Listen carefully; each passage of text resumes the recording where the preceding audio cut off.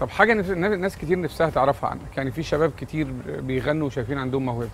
رامي صبري كان عنده موهبة ودخل درس. آه. حاولت إزاي تبقى مطرب؟ يعني إيه الحاجات المحاولات اللي حاولت حلو أو السؤال ده. البداية كانت؟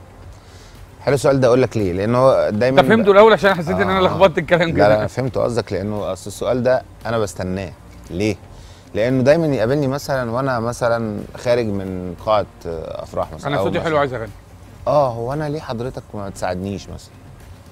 فأنا بقى أفكر كده بعد ما اركب العربية طب وأنا فعلا ما- ساعدوش ليه؟ هو إيه اللي يخليني ما ساعدوش؟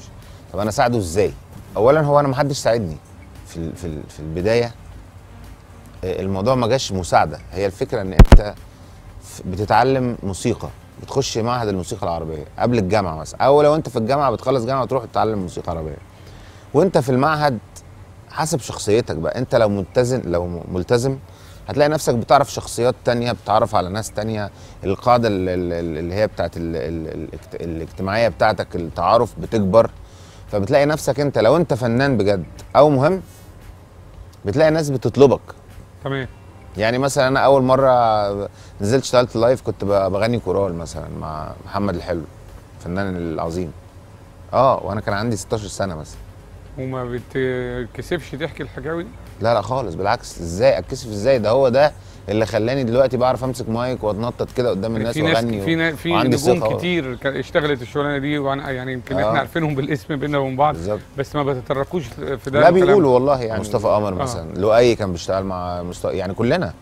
آه، فدي بتخلي فكرة ال- الثقافة عندك أو قصدي ال- الخبرة عندك أعلى. بتزيد وبتعلى فعلاقاتك بتكبر فاهم قصدي فدي بقى بتجيب حاجات كتير بقى. بتلاقي نفسك بتقعد مع موزعين مهمين زي طارق مدكور حميد الشاعري ساعتها يعني كان كمان آه، آه، اسمهم كبير قوي وشغالين مع كل النجوم وبتاع. فبتلاقي نفسك قاعد على الكنبة وراهم وانت بتسمع مثلا أغنية ايو ايو مثلا. والعالم الله. فكل الحاجات دي اتعملت قدامنا فبتزيد خبرة بتتعلم بتاع. تشوف نجوم قبليك زي عمرو دياب الفنان عمرو دياب والفنان محمد فؤاد زي محمد الحلو عامر منيب كل دي كانوا نجوم ساعة ما إحنا كنا صغيرين كبار قوي يعني شغالين كمان في السوق هم اللي مسيطرين يعني.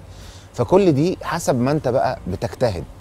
كل ما ما تجتهد أكتر وكل ما ما تنامش وتضيع وقت أكتر وتضيع وقت في الحاجة اللي مش مهمة بتلاقي نفسك انت بت- بتتعرف على الناس أكتر بتتحط في حتة أهم بتطلب في حاجات مهمة.